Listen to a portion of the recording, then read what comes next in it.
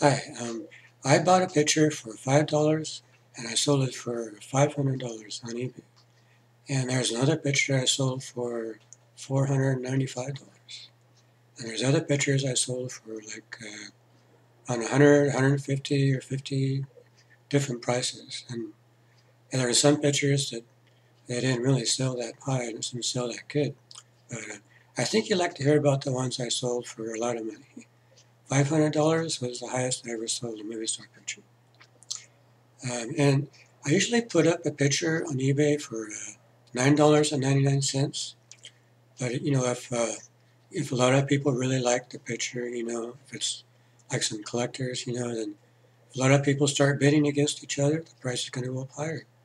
And uh, uh five hundred dollars is the highest I sold a picture. And um, this wasn't really um, dumb luck or a coincidence that I, I, was able to sell some pictures at a high price because I, I did research on eBay to see which which movie stars were selling at a high price and also had a lot of bidders. You know, I wanted to see a lot of bidders because uh, I want a lot of bidders bidding on my stuff to make the price go higher. You know. Yeah, actually, around uh, I don't do it right now, and I, don't think I'm a rich guy because I'm not, but I, I made some money then and I it helped pay the bills, but I don't have it anymore. anyway, um, around 15 years ago, I, uh, I sold movie star pictures on eBay. And when I first started doing it, I was thinking, hey, I'm uh, I've seen a lot of movies. I'm a movie buff, you know.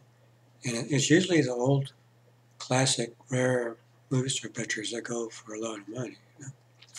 So I I went to some of these uh, Hollywood memorabilia stores, you know, and I I bought some pictures that I thought would sell good on eBay, and then put them up, and they didn't really sell that because they didn't sell that high. Some of them didn't sell at all.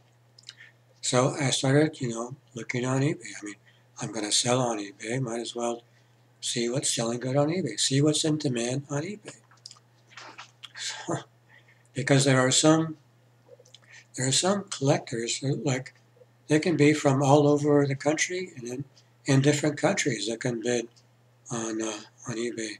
So there could be like uh, like a Marilyn Monroe um, collector over here, and then another Marilyn Monroe collector, collector in another state, another country, and they can all see that on eBay and bid against each other.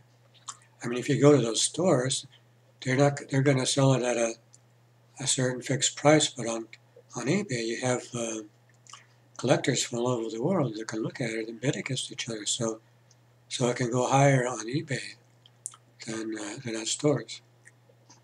And actually, that uh, that picture that I went for five hundred dollars, that was just a reprint. It wasn't what they call a vintage from that day.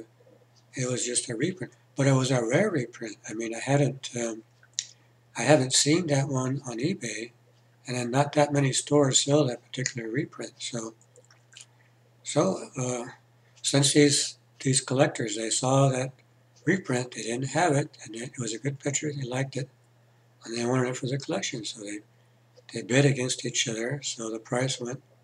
I they had you know enough money. I guess they had high paying jobs. They had enough money to pay a high price if they bid high enough. So uh, anyway, back to the uh, and and I was uh, sold a lot of those movie star pictures back then, and sometimes I was a power seller. If you sell more than a thousand dollars worth in a month, they call you a power seller. And uh, like I was saying, eBay has these uh, search functions that really help out sellers. They do things that really help sellers. And if you look on eBay, look at all these uh, search functions available. You try to, because um, there's, there's thousands of stuff on eBay. You know, it helps if you can uh, narrow it down by using these uh, search functions to find these uh, high prices and a lot of bidders. And I'm going to, uh, I want to tell you about that in another video. So you be sure and look at my next video and I'll, I'll get into more detail about these, uh, how to use these search functions to find it. Okay. See you in the next video.